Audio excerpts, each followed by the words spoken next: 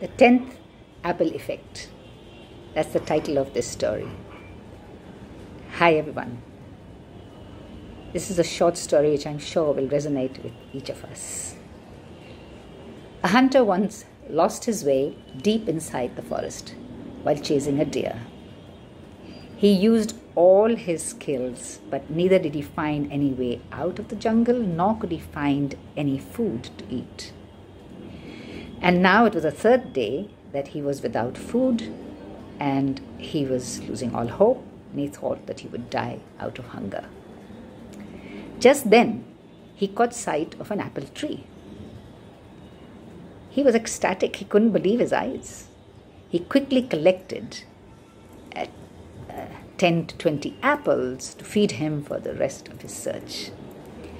As he bit into the first apple, his joy knew no bounds. He couldn't stop feeling grateful and blessed. He thanked God, he thanked the universe. He was very happy. He could not believe his luck when he ate that first apple. But he was less grateful when he bit into the second apple, and even lesser grateful when he had the fifth apple. And by the time he reached that tenth apple, his joy kept, had reduced drastically. He just could not enjoy the tenth apple. He even began throwing away apples which were not tasting so good and complaining about what he thought were some rotten apples. Now, he had already taken for granted the gift of having found an apple tree in the middle of the jungle after three days of going hungry and almost giving up on life. In economics, this is called the law of diminishing marginal utility. It is actually the law of diminishing gratitude. In simple words, taking things for granted, or let's call it the 10th apple effect. The apple represents a lack of appreciation for the gifts of life. The hunter represents all of us. And the apple represents all the gifts that life has to give us. The tenth apple is as sweet as the first apple. If the tenth apple fails to give as much pleasure as the first one, the fault is not of the apple, but with the person enjoying that fruit, right? The reason I share this story is that we've been having the 10th apple effect in our world for some time. Abundance of everything, and then we start complaining. We complain about people, the government, traffic, food, jobs, weather, everything.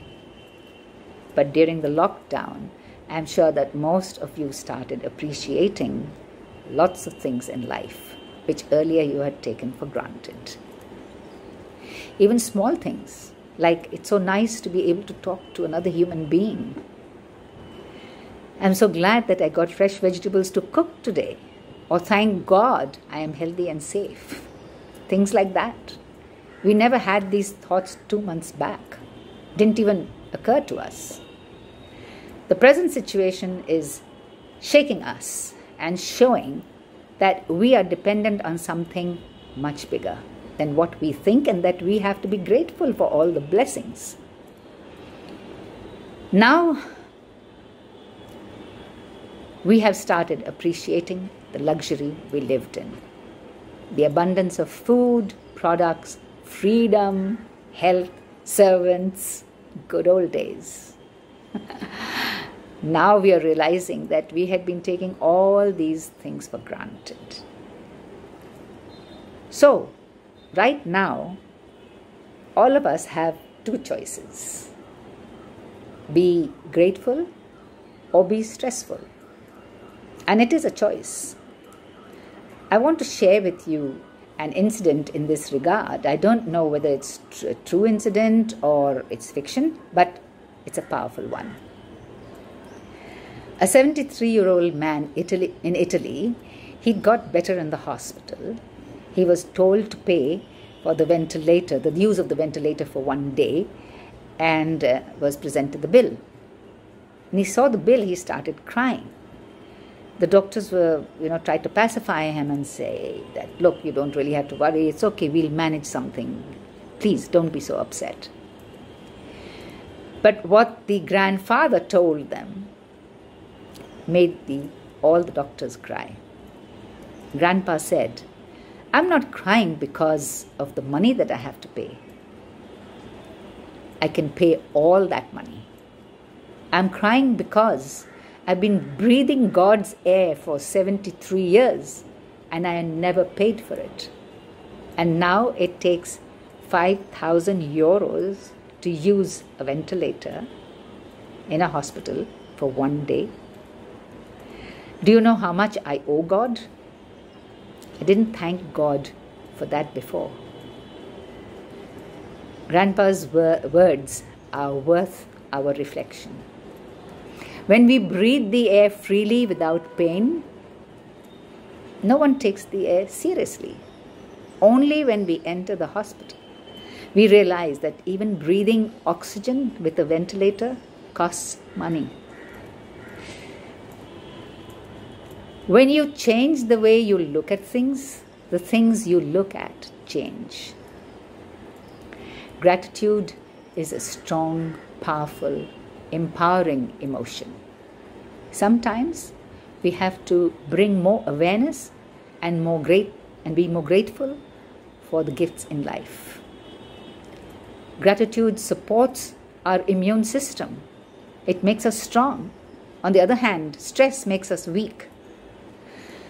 One thing I have experienced in life, and that is when you are grateful, you cannot be fearful. The two just don't go together. Be aware of your state of mind and start counting your blessings. Thank you is the best prayer that you can chant all day long. The law of the universe is that when you are grateful for the things you have in life, you will have more things to be grateful for. I repeat, when you are grateful for the things that you have in life, you will have more things to be grateful for. So never let the 10th apple effect make you take the gifts of life for granted. Never let your gratitude for life fade away. Thank you for listening. Stay safe, stay happy, and stay grateful.